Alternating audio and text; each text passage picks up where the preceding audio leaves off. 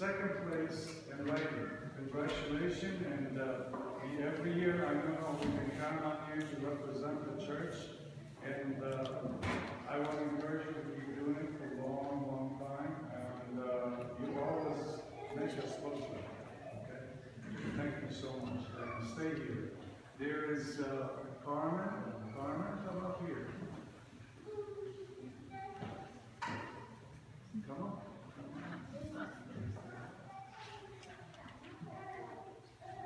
Carmen, you gotta be more excited about it than me. She is.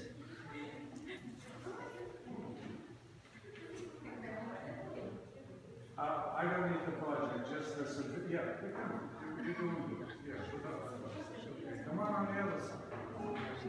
Carmen, Carmen placed, uh, she's, uh, she came in first place in second grade.